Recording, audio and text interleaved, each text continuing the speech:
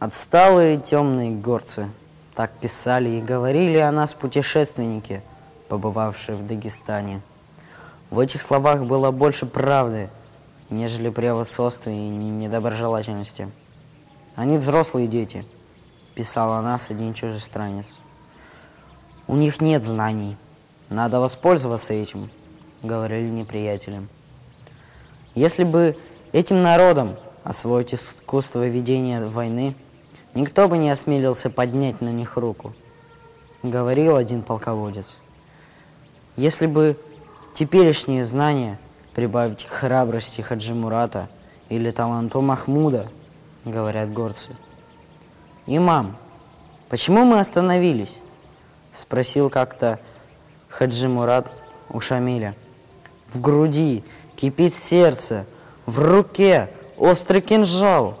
Чего ждать? Идем вперед и проложим себе дорогу. Погоди, не торопись, Хаджи Мурат. Торопливые речки до моря не доходят.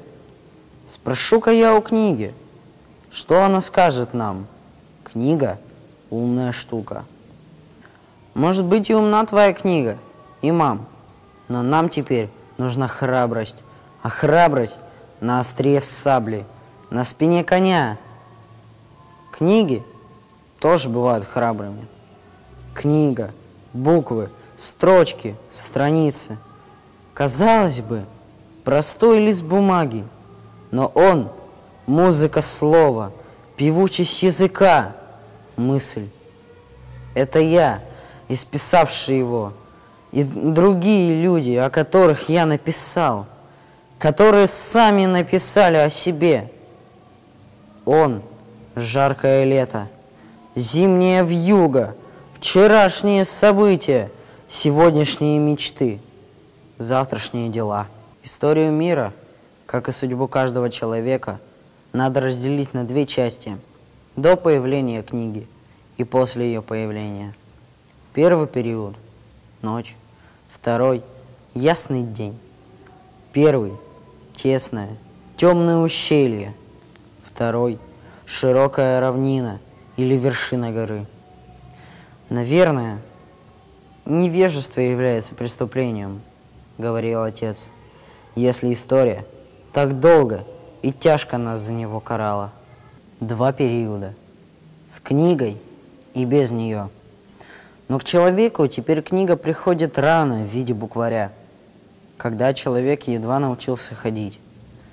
А вот к Дагестану книга пришла, когда ему уже насчитывались тысячелетия. Поздно. Поздно научился Дагестан читать и писать. До этого, в течение многих веков, небо было для горцев страницей, а звезды буквами – Сизые тучи были чернильницами, дождь чернилами, земля бумагой, трава и цветы, как буквы. А сама высота склонялась над такой страницей, чтобы читать. Красные лучи солнца были карандашами. Они писали на скалах нашу полную ошибок историю. Тело мужчины – чернильница, кровь, чернила, кинжал, карандаш. И тогда писалась книга смерти, и язык ее был всем понятен, не требовал перевода. Женская обездоленность, чернильница, слезы, чернила, подушка, страница. И тогда писалась книга страданий – но мало кто ее читал. Горянки не выставляют на показ свои слезы. Книга – письменность. Вот два сокровища, которые забыл дать нам тот, кто раздавал языки. Книги – открытые окна в доме, а мы сидели в глухих стенах. Из окон можно было бы видеть просторы земли и моря и чудесные корабли, плывущие по волнам. Мы были похожи на тех птиц, что почему-то остались зимовать и в стужу стучат клювами в стекла окон. просятся в тепло. Высохшие, опаленные жажды губы горцев, голодные, горящие наши глаза. Если бы мы умели пользоваться бумагой и карандашом, то не так часто прибегали бы к услугам кинжала. Никогда мы не опаздывали надеть саблю, оседлать коня, вскочить в седло, выйти на поле брани. Тут у нас не было ни хромых, ни глухих, ни слепых.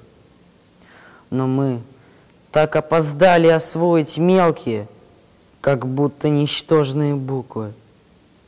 А неизвестно, у кого хромает мысль, тому унцукульские стрости не помогут.